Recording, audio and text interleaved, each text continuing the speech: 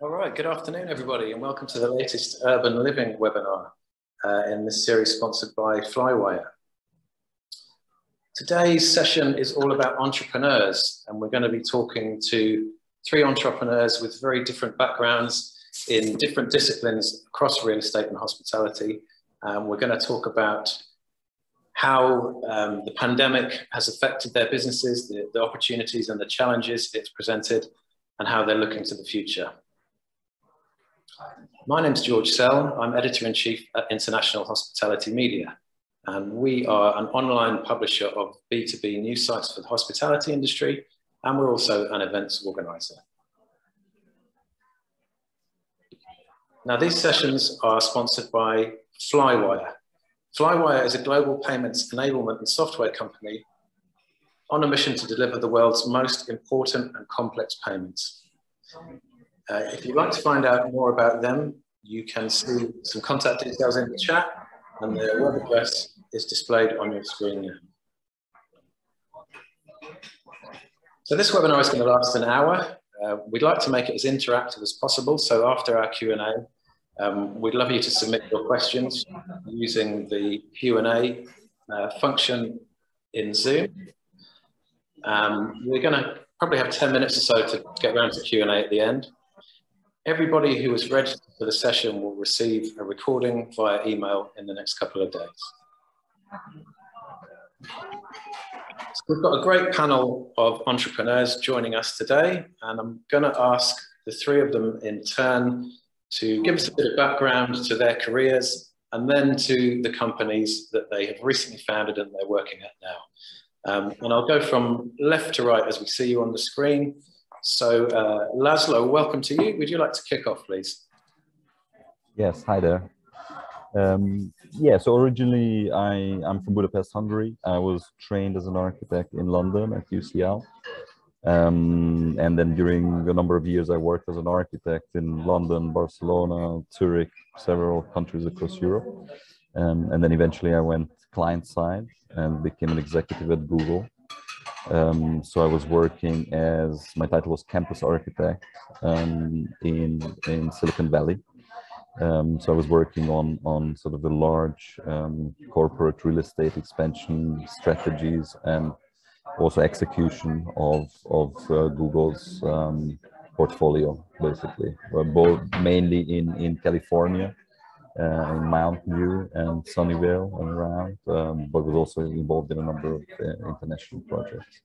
Um, and then in 2018, I decided to move back to Europe and co-founded together with a an old Portuguese friend of mine in Lisbon. Um, I co-founded a company called Hidden, which is a co-working brand. Um, in December 2020. So in the midst of the pandemic being in full swing, it's in Lisbon as well that she closed our first investment round with a Portuguese Brazilian um, venture capital and and real estate fund. Um, and now we are, and as part of that that uh, investment as well, we ended up spinning out another part of the company which is called space Spaceworks. So the way we look at it is that Hidden is basically sort of a space experience and curation brand, and Spaceworks is the digital space management and design component to that.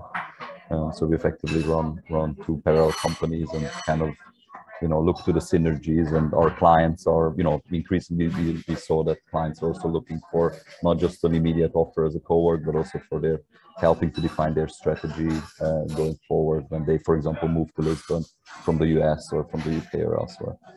So that's that's me in a in a nutshell. Thanks Laszlo. Um, cindy would you like to give us some background in, into you and your company please? Yeah well that, um, that's a hard nut to follow so um, my name is Cindy Diffenderfer. I'm the co-founder and CEO of Orion House. We are an Airbnb or home sharing friendly building uh, property manager and enterprise software solution. Um, my background, I've been in the short-term rental, long-term rental space now for the last six years. Uh, former companies, I'm still an owner but not operator of is Nativo, um, which is a luxury condo brand also that is uh, short-term rental friendly, um, and then Niido, which was launched in partnership with Airbnb. Um, prior to that, I actually worked in the hospitality space as on the vendor side. So I had um, a keg wine company, uh, draft beer um, in the craft beer craze. We launched that and exited that um, around 2010. And then prior to that, I was in the fashion industry. So serial entrepreneur, um, but very much uh, ingrained in lifestyle industries that kind of suited where my interests were. Um, and I've really found my passion here in, you know, creating flexible living and working solutions. And, you know, it's afforded me and my family and friends, you know, a nice way to live. And um, we continue to, you know, hopefully expand that so that others could experience the same. Thanks, Cindy. And finally, Leo, over to you. Hi, uh, yeah, we started IMS, myself my business partner Shane started IMS in 2003. Um, and we began offering tech services into student accommodation, would you believe, at the start. That was our first foray into, into managed service, into uh, what, well, it was hardwired at the time, not Wi-Fi. Um, and over the over the years, we evolved into more hospitality oriented, and in most recent times, into service departments, apart hotels, and uh, co living and build to rent. So it's been a very interesting journey. Um, we now are offering our services uh, throughout Ireland, the UK, and Europe. Uh, we're flying on the coattails of some really good apart hotel operators in particular. Uh, some of our key clients are in Switzerland, Spain, France, Germany, Italy, as well as the UK and Ireland. Uh, and I guess our mission is to make our customers' lives easier. Our customers being the operators of multi-tenant or multi-family accommodation, whether it be in traditional hospitality or most recently co-living and built-to-rent areas. Um, yeah, that's what that's what we do. Okay, thanks, Leo. Um, let's stick with you for a moment, Leo. Um, as we emerge from the pandemic, albeit more slowly than we would have liked, it's, it's becoming quite a, a drawn out process. What do you see as the biggest challenges and opportunities for your business? Uh, the biggest challenge, it's a good question because the pandemic itself was a, a massive challenge. Um, and, uh, and at the same time, opportun, opportunistic for us because it gave us time to reassess and re-examine the, the, the markets we were in. We were very heavily focused on hospitality pre-pandemic and we were just starting to uh, look at the BTR markets and the co-living markets and we signed our first deal for co-living schemes in Ireland and uh, and we were negotiating with BTR schemes as well. So it really made us look at uh, diversify our portfolio um, and at the same time trying to help our existing hospitality clients. We're a zoom partner so we put all our put all our uh, management teams right across all the properties on zoom licenses so that they could keep keep the ship afloat uh, and we pivoted uh, into the health and the education sectors to help them out as well. So it was a really interesting time and, and we got to know ourselves again if you like uh, and the challenges on the, this side now is for us, the two main challenges are getting product. Um, it's, it's a real, real challenge trying to get product and staff. Uh, we're seeing that we're trying to recruit uh, and we're having to hold, we're having to stockpile for jobs that are 12 months down the line at the moment. And we're also trying to recruit and the recruitment uh, process, we're finding very difficult to find staff. So they're the two key challenges because I guess when we came out of pandemic, a lot of projects that we were involved in were put on hold. Suddenly they are going 100 miles an hour. Uh, and those projects, uh, they want them done yesterday. And so we have that product problem, that staffing problem, uh, and just trying not to put too much workload on our staff uh, and our, our current resources while trying to, uh, yeah, trying to get more basically. So that's that's the biggest challenge for us. Yeah, thanks, Leo. Um, Cindy, maybe if I can direct the same question to you, the, the biggest challenges and opportunities you, you're currently facing. You know, they are shifting constantly, but I will say, you know, early on in COVID, I have to agree and resonate with Leo talking about inventory. We had an enormous pipeline set up, uh, you know, call it February of 2020. Um, new delivery product, existing inventory that we were converting into the flexible housing solutions. And all of that, even though it was a really big initiative for some of our institutional partners, really got put on the back burner. And they said, look, we are so focused right now on rent collections and you know eviction moratoriums and all the different things that that occurred here stateside that we can't look at new initiatives of which flexible living and home sharing friendly buildings is really disruptive to the nature of traditional multifamily. So, you know, a year ago, that was really our biggest challenge. Now, um, we have got a massive influx of inventory from our partnership side, uh, institutional, a lot of institutional inventory. We've got a lot of uh, depressed hotel inventory that's looking to convert into multifamily that is, um, you know, uh, under optimized and probably overbuilt in some of these markets. Um, and then we've got massive inbound demand now from consumers that tried uh, vacation rentals during COVID that were traditionally hotel travelers. So now they've opened their eyes and they go, oh my God, this is great. I can get an apartment versus staying in a hotel and I can take my family and we're staying for longer periods of time. So, um, you know, it really went from, uh, in this case, famine to feast. Um, so, from our perspective, we're spending a lot of time you know, creating institutional and programmatic solutions that we can onboard uh, large swaths of inventory while still maintaining um, consistency on the customer service and the brand side of the equation. Um, that said, you know, we're rolling out slowly because we've got to we've got to make it, break it, and fix it um, as we introduce new buildings and new inventories to each market. So um, it was the hurry up and wait and now the hurry up and deliver and uh, everything that kind of that that feeds into that frenzy. And are you experiencing similar issues with with recruitment? I know in the uk and ireland it's, it's a problem across all sectors. Is that echoed in, on your side of the pond? You know the, the absolute answer is absolutely yes, right? And it really depends on the sector of which we're hiring. Um, and I hate to use the term unskilled labor, but you know, kind of our hourly employees that are front desk or maintenance or groundskeepers, uh, you know, those people that really make our business run, we find the hardest to employ right now. Um, and we are all speculating as to why but um, we definitely have a shortage on the supply you know for for hiring on that scope. And then on the flip side for more managerial and executive level staffing um, the competition has become much greater. Um, you know we really have to have a point of difference where it isn't just compensation where it's quality of living and benefits and flexibility um, things that people have become accustomed to through covid we have to kind of tailor now our job offerings to you know the lifestyle that um, people are now enjoying and want to continue enjoying um, and, and meeting a balance there. You know i mean we're all about flexibility and home sharing and, and working remotely um, but but the pendulum swung a little bit far you know where we got people a little too comfortable and they're in the homes and the dogs and the kids are in the meetings and all of that stuff. So right now we're we've got to get our balance back where it's like there's got to be a sense of office decorum no matter where you are.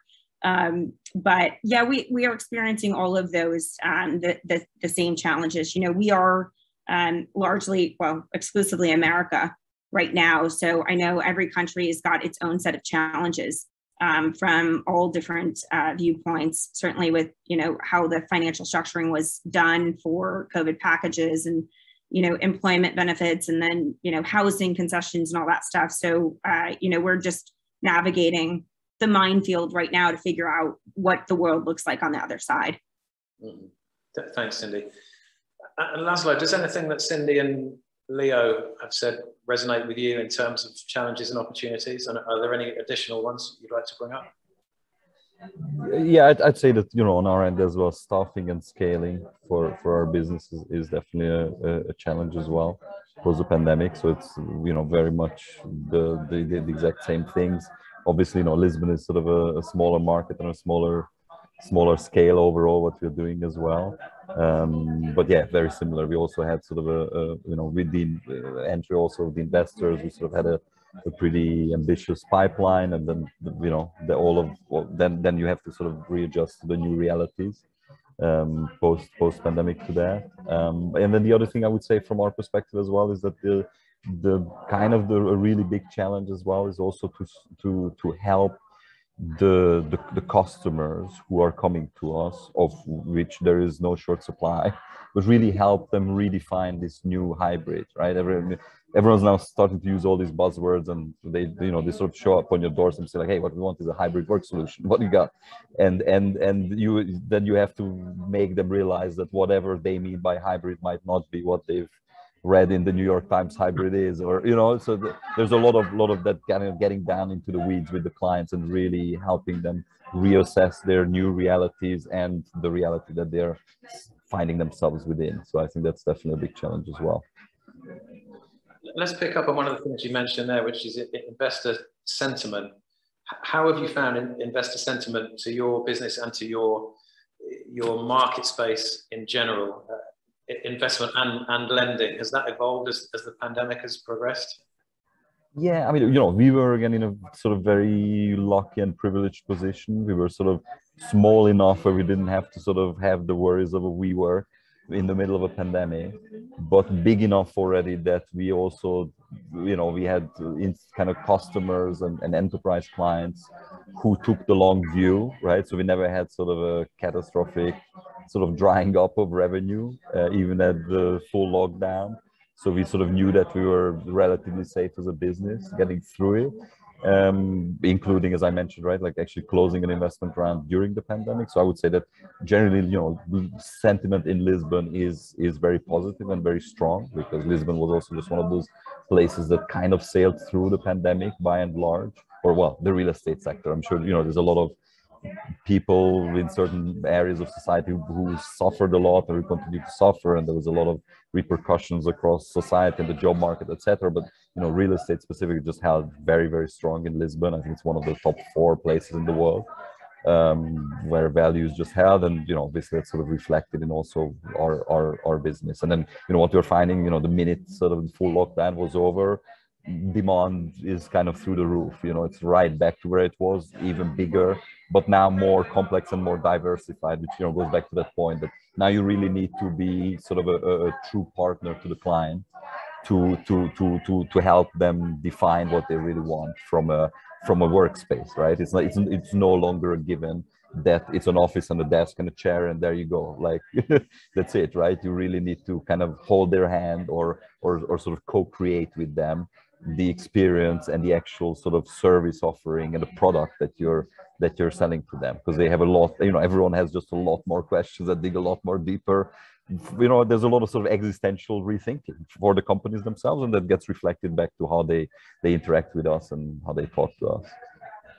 We'll come back in a minute to talk about how you've had to reevaluate your offer and what clients are asking for. But first i just want to ask cindy what your experience has been of um, your conversations with investors and, and how how they've seen the pandemic progress and, and their confidence in, in, in your sector and your model? It's been a mixed bag. Um, you know, I mean, there was there was so much concern around the master lease short-term rental business model with companies like the Guild and Sonder and Stay Alfred and Lyric and all these guys that had a lot of inventory with a lot of liability on it. And so immediately when that demand dried up, unlike Laszlo's uh, commercial clients, these are these are consumer clients that are going in and just not traveling anymore. Um, and they had this massive burden of those lease obligations. So there was a real fear as many of those companies started just falling off, right? They couldn't service the debt, they couldn't service their leases, they had they they were in a very strong financial position at the beginning of the pandemic and then everything just was brought to a to a standstill. Um, so, you know, investors were scared, quite frankly, to look at short-term rentals, much like the hotel institutional capital where they go, you know, hotels also are a victim of circumstance when it comes to uh, the seasonality as well as the pandemics and then the mandates from the government position. Um, you know, Airbnb, I have to give them an enormous amount of credit for how they handled both their travelers and their host community, um, how they rebounded from pulling the IPO and then going out and really soaring and, and building that investor confidence and consumer confidence again um, you know, now everybody's looking at it with it, with a little bit of uh, a conservative view saying, well, what if this happens again? And we're in a unique position that we aren't reliant exclusively on short term rental income. You know, the first source of revenue that our company earns is from the monthly rent payment, of which rent collections maintained at 92 to 98% across America.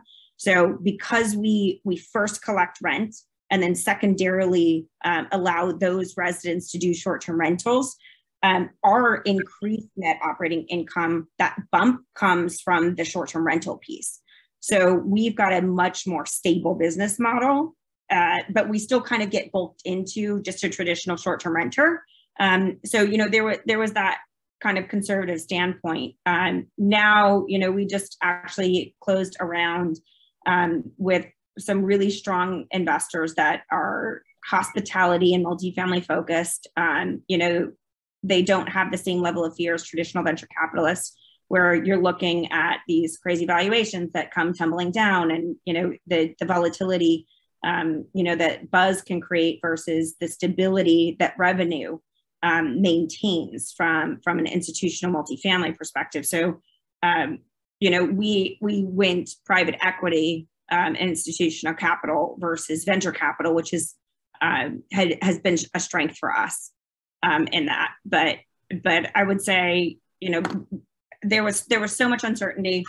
Airbnb just did an enormous favor, I think, to the entire short-term rental industry by really handling um, the pandemic well and, and, coming out swinging and better and stronger and faster than all. And I think that trickle down effect impacts us all really positively.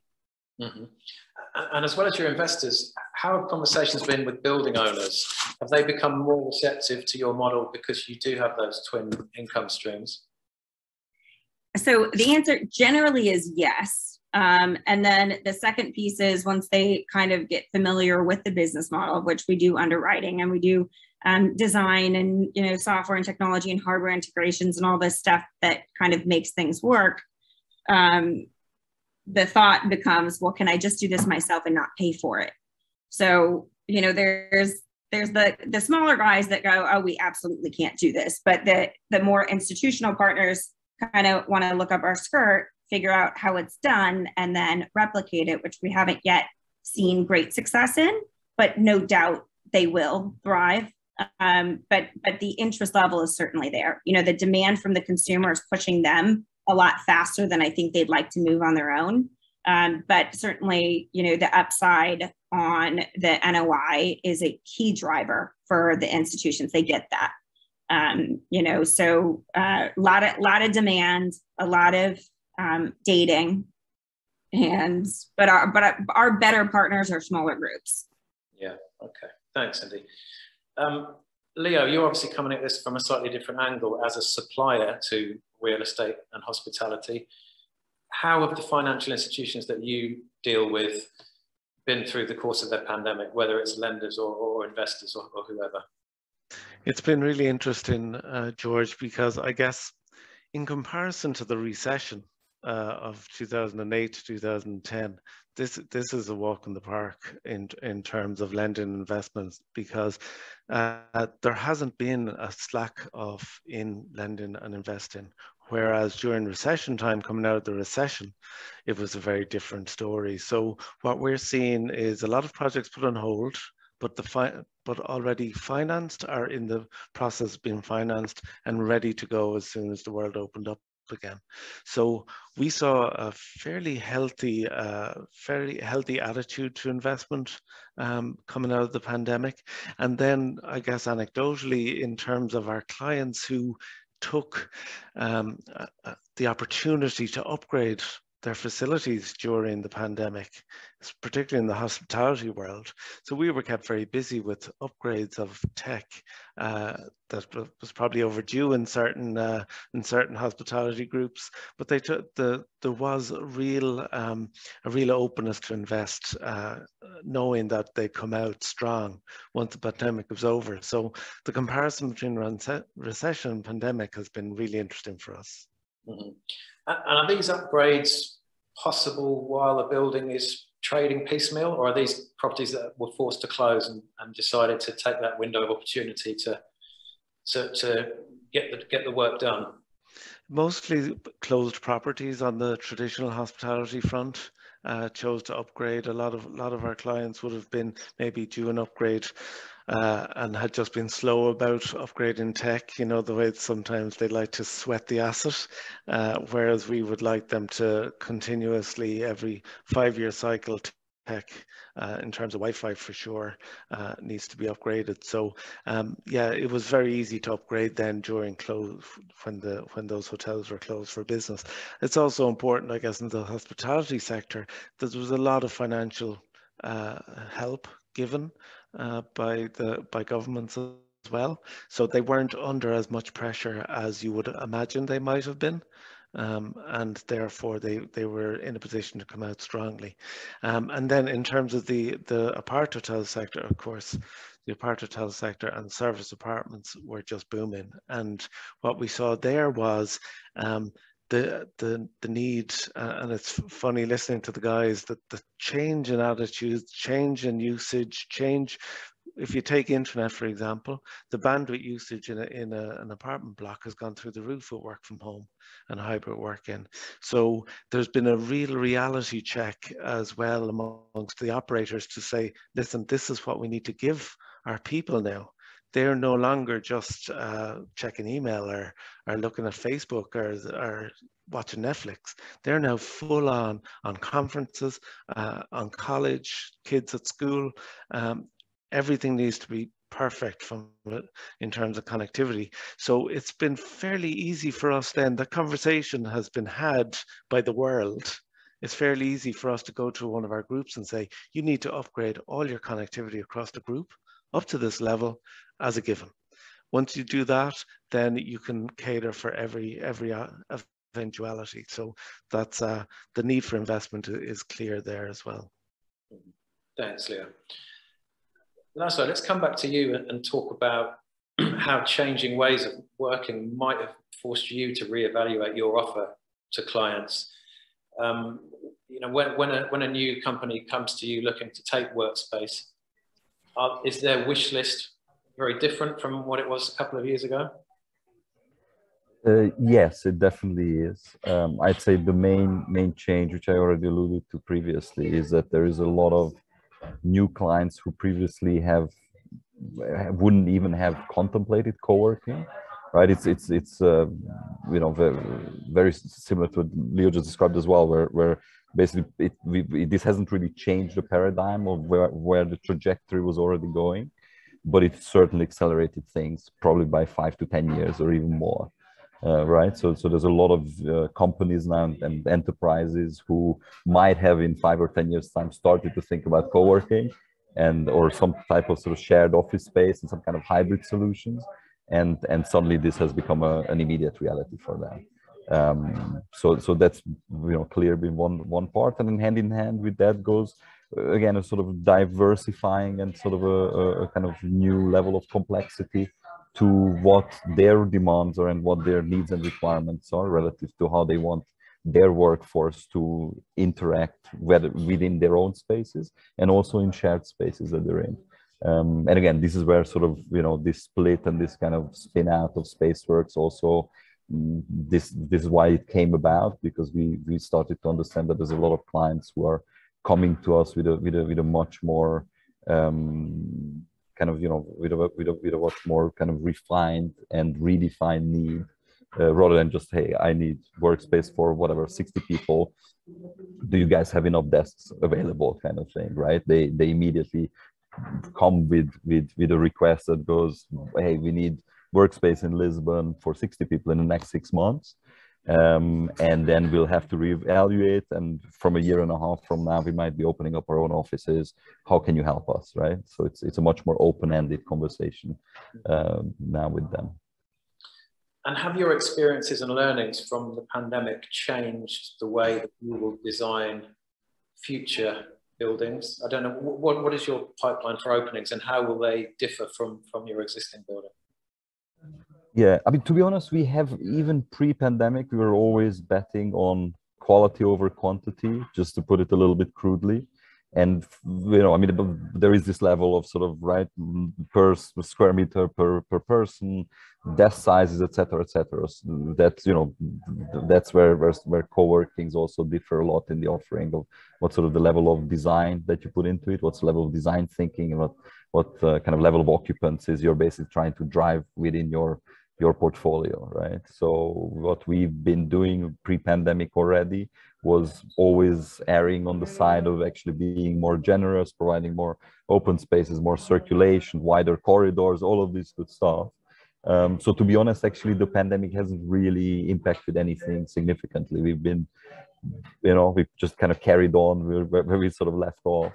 And, and indeed, you know, on most of our spaces, we didn't really have to intervene in any significant way where you know, there was a lot of co-working space that suddenly went like, wow, we have to completely redo the desk sizes. We have to rethink the layouts. We need to completely redo what we've been doing. So again, luckily we sort of were always, always kind of heading in a direction where, where, you know, not that we ever expected such an eventuality or pandemic to hit, but sort of just naturally. And again, this is also based on my long experience working in, in this field and commercial real estate and working at Google as well we obviously there was a lot of number crunching of how many square meters per person you should be having across a portfolio that was you know millions of square feet across the world. And let's say you know i've kind of learned learned my lessons along the way and and, and was always focused on, on on quality with what we were doing as at Heden and it's obviously um, pretty lively building where you are now. We can see, we can see and hear people moving. Yeah, it's pretty packed actually. Yeah, I'm having to sit here actually because all our rooms are taken. So actually, oh, that's a good problem to have. Yeah, yeah, yeah. Um, what, so, what do you offer in terms of, of communal spaces that, that, that aren't strictly workspace? you know, it's sort of the, the the usual usual amenities. We have sort of a you know, I can sort of swing the camera around, but we have kind of you know sort of a kitchen and breakout space. We have sort of the eating space the the ping pong table behind as an event space. So you know i would say sort of in, in the kind of very big picture the way i look at it is that what the pandemic has has really fostered and accelerated is this already ongoing convergence between commercial real estate between hospitality and events specifically right? So in this this sort of whole new reality where it's not a, a given what the office is really there to do for for for any given company right? People are really rethinking this and the office has become much more of a sort of you know gathering space and a coming together space more than than necessarily just a sort of sitting at your desk and and being there for you know eight hours or however many in front of a screen and a computer. Um, and i think there there is you know a lot of stuff that we you know luckily intuitively already got right before the pandemic that our space is pretty naturally sort of converged in, in this direction or converted into this sort of new rea reality. Uh, but I'd say this is sort of the, the, the, you know, it's kind of an ongoing daily almost conversation as well for the, the spaces that live in the pipeline as well. But again, I would say, you know, in summary, we haven't really changed anything dramatically and didn't have to rethink because we we're already sort of on this path and, and going in this direction before. And just quickly, for the benefit of those of us who are shivering in a grey Northern Europe, can you show us the view the other side? Oh yeah, just uh, you want to look at the look at the riverfront. yeah, that's yeah, it's, it's pretty it's pretty sunny out here. Yeah. Great stuff. Thank you, Laszlo. Um, Cindy, the the rent to rent model, for want of a better term, what terminology you use, but um, and you can you can correct me if that's an inappropriate one, but it's it's a really interesting new concept. Are there any legislative barriers to it in the States? And if so, do they vary regionally? I, I know in a lot of buildings um, here, here in the UK, sub, it would be termed subletting and, and it, it wouldn't be allowed, but I get the impression things are freeing up a bit now. What's the situation with you? Okay, that's a very loaded question. Um, lot, a lot of answers in that, but yeah, there is a lot of legislation that's around it. Um, generally, in more densely populated areas like a New York and a San Francisco, um, Chicago, they'll have density caps on it saying, okay, only 25% of this building can participate in short term rental activity. Um, and, and generally, when that's written, it's targeted to maintain the affordable housing inventory so that people aren't taking these leases just for the sole purpose of running them as short-term rentals to do that, you know, quote unquote rental arbitrage. Mm-hmm. Uh, our business is set that we go only into markets that and and zones that we can actually operate. Um, and cities like New York were just no goes basically, unless we went into something that was already a hospitality or a condo hotel product.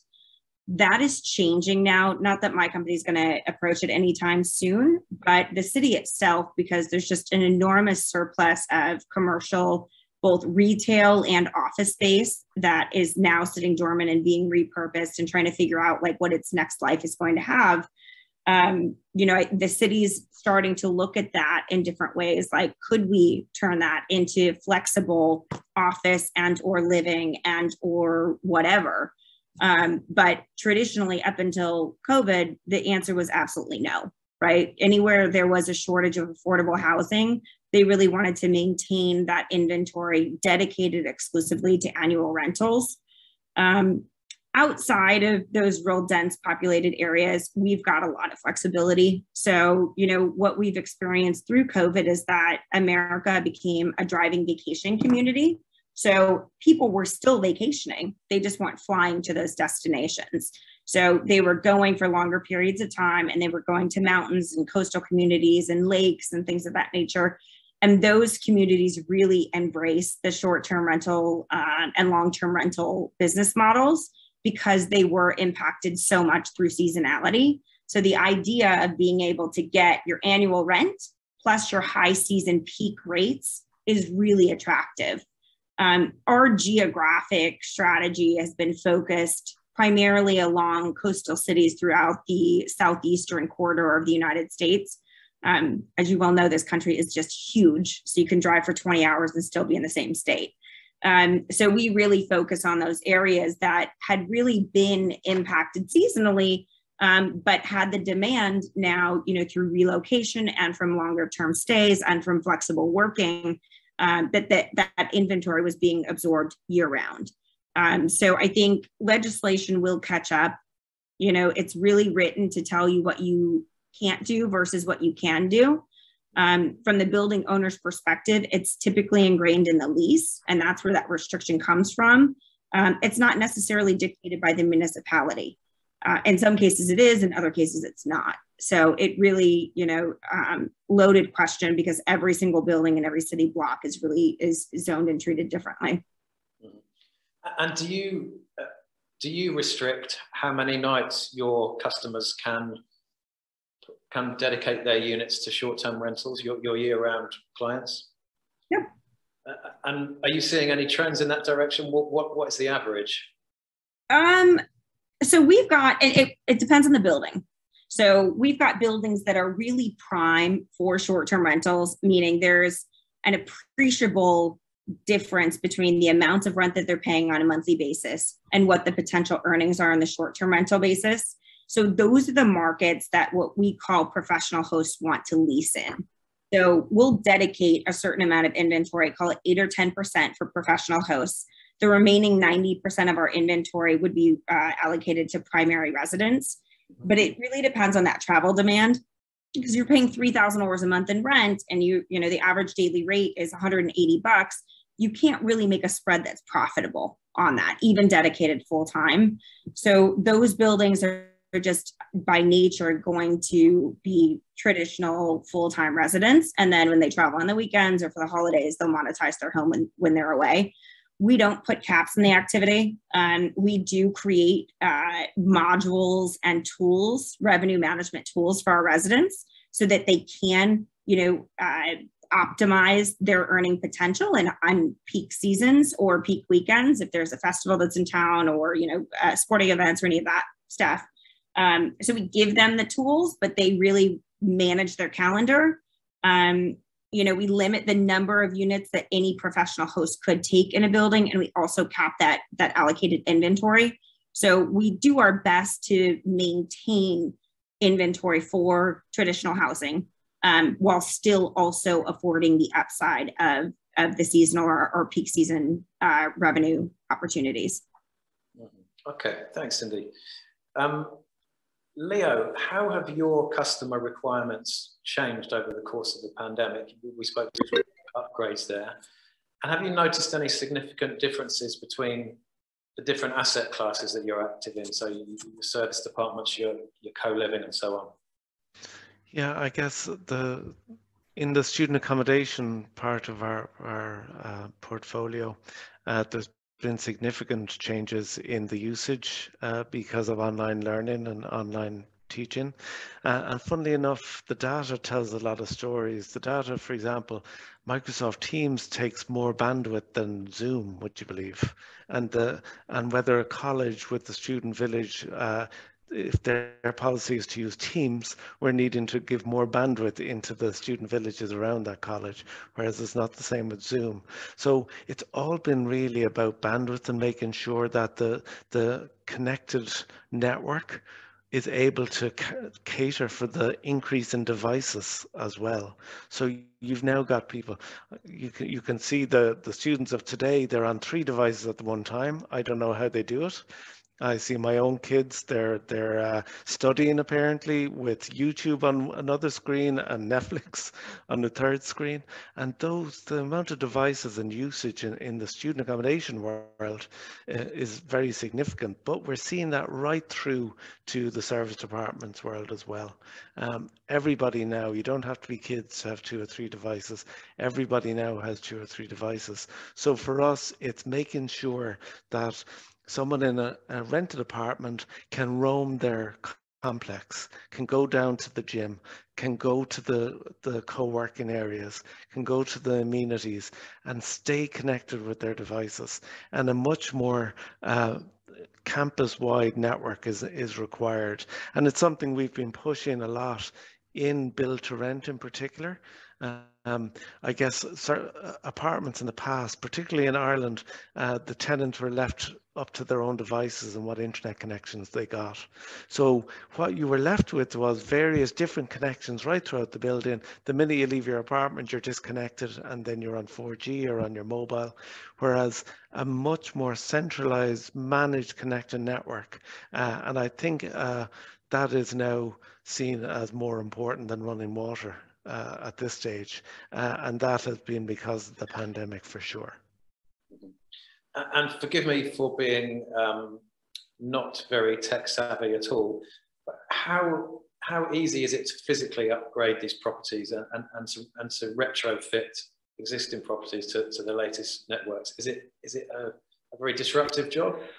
It's a lot easier than you think uh, because there has been the, the in the in the 2000s there was a lot of cable put into these buildings and a lot of cable you'll find cat5 data points in bedrooms and and living rooms and, and uh, kitchens almost because everybody wanted to future proof and the reality is that those cables are no longer required but they are required to enable wireless within a within a, an apartment. So for example, if you have three or four traditional copper Cat5 cables in an apartment in various data points, we can easily intercept one of those and bring it back up and fit an access point, and that's all that's required.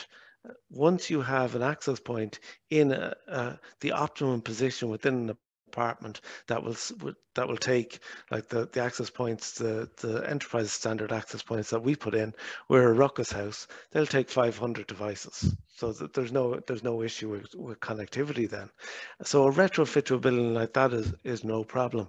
What we're seeing with the new builds is that we can now save uh, operators and developers a lot of money at the design stage by saying you don't need this cable, you don't need that cable, this is all that you need. Everything is wireless. Everything is going to go wireless. But as we all know, no matter how tech savvy we are, wireless is only wireless to the end users. So you want your iPad and your laptop and your TV to connect wirelessly. But in order to do that, it's heavily wired in the background. So a good fiber backbone throughout the complex, through the risers and the subcoms areas. Uh, and then the, the last mile can be copper. The last, the last few meters can be copper. So a good fiber backbone, and that's easily retrofitted. Um, and then uh, utilizing existing Cat5 cables into, into various optimum locations around the building. Thanks, Leo. Okay, so before we get around to um, Q&A from the audience. Um, and please do submit your questions, folks, using the Q&A function. we we still have time. I just want to ask each of our three panelists in turn where they see their businesses three years from now and, and what the most significant learning from the pandemic period has been to, uh, to get them where, where they need to go. Um, Cindy, could we start with you, please, on that one? I think flexible living and office spaces and the sharing economy is just going to continue to grow. Um, you know, the consumer wants the product, they see the benefits from it. Uh, it enhances their quality of life. It provides more free time. It provides, you know, additional income potential from all these different channels. Um, so I think you're going to see critical mass adoption over the next five to 10 years. Um, right now, where in my world, home sharing is an amenity and it's kind of a novelty. I think it should be a standard where why can't you rent your place when you're not using it? Like there's absolutely no reason why that real estate couldn't be optimized. Um, it's just a, a, a long term behavior change that is going to be impacted, you know, from the consumer level to the government agency level. And so that's a lot of layers for change. Um, but much like Uber, you know, the world wants it. They want it from the driver's perspective, from the user's perspective. You know, it's just a win-win for everybody. So I think I think this sharing economy is going to apply to almost every facet of our life. Um, so COVID is, I believe, accelerated that adoption because the need for flexibility um, not only in housing and accommodations but also in your office space where you go well now i'm now i'm working from home and my kids are working from home. Get me out of the house. Like where can i go? Um, you know when when you don't return back to the office but you still want some type of semblance or you or you want to leave your home you still want somewhere to go. Like i think to laszlo's point it's a, a point of connection as communal areas. I'm tired of walking up and down the stairs and that being my entire day you know like you go you go from your bedroom to your living room and you're in business. Um, and so i think all of these things you know are gonna are gonna get people more mobilized more engaged um, and you know hopefully provide a better quality of living all around. But i think the sharing economy is going to continue to grow. I think you know the governments are going to regulate it to a degree where it makes sense. The pendulum's going to probably swing really hard one way and then it'll come back to middle um, but the idea that whether you're a renter or you're an owner, um, you should have the right within reason to utilize your space um, is a concept that resonates and it's something that people want. And I think will continue that way.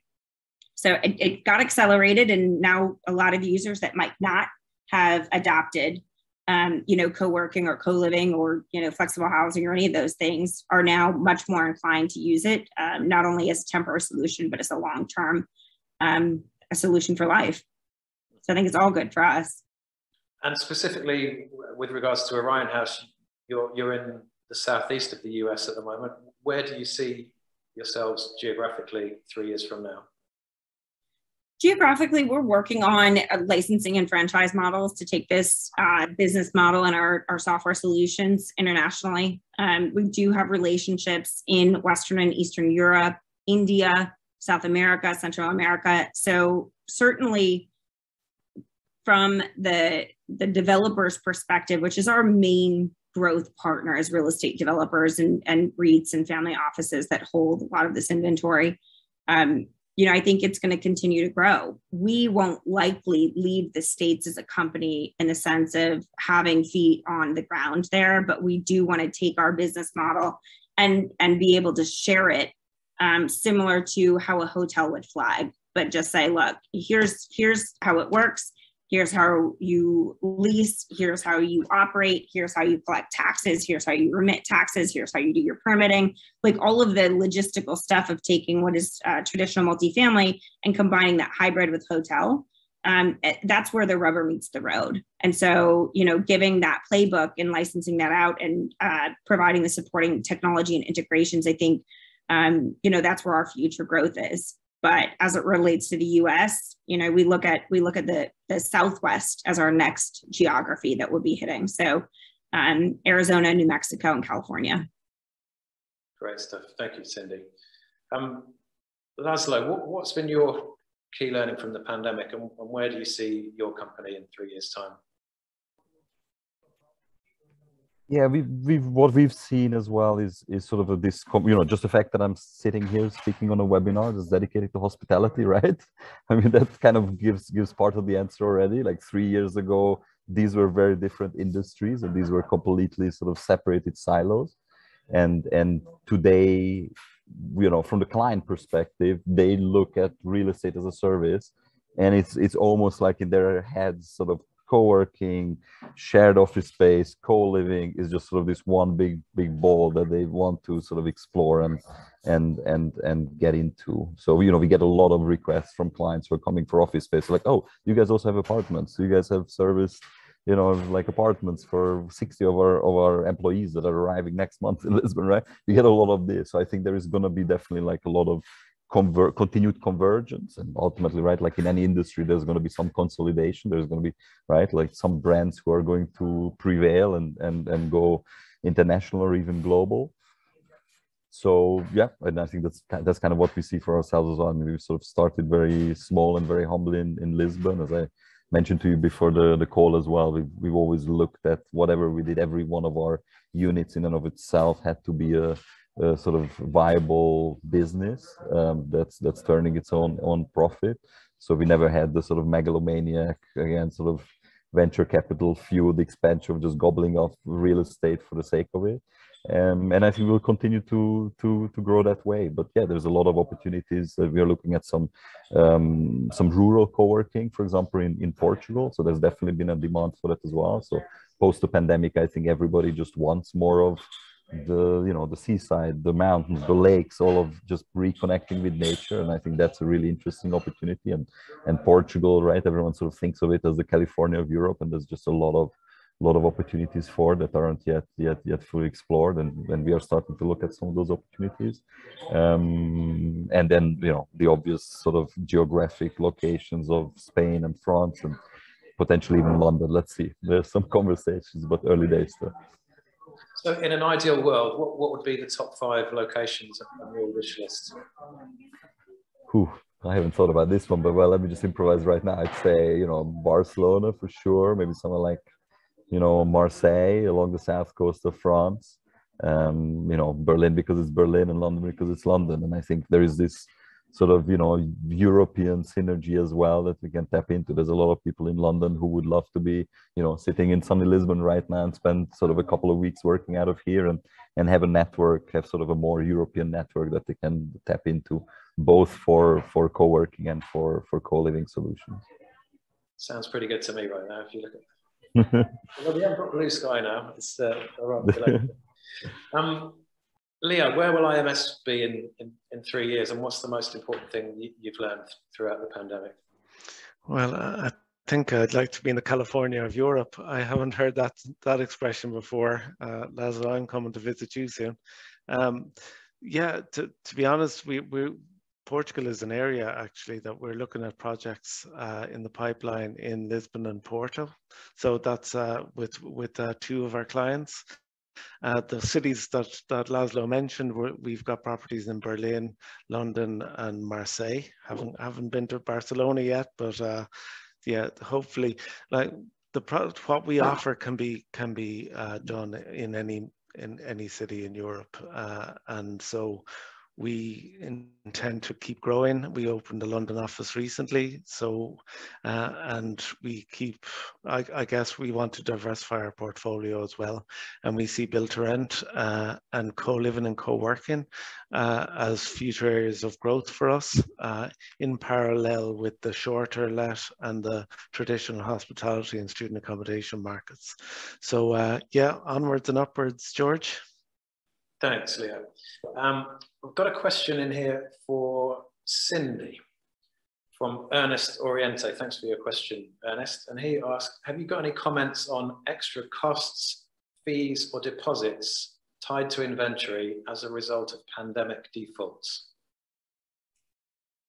As a result of pandemic defaults, any extra costs, fees, deposits?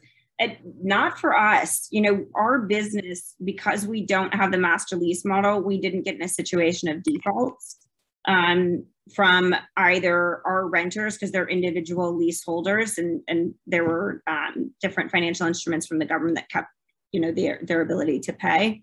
Um, but also as it relates to just extra cost fees or deposits for the short-term rental program we don't have any upfront costs that are required there is a 25% uh, fee that is paid out of the nightly rate to ownership and to our company from the management perspective, but that's only off of earned income from short term rentals. So there's no additional cost to be a part of the program.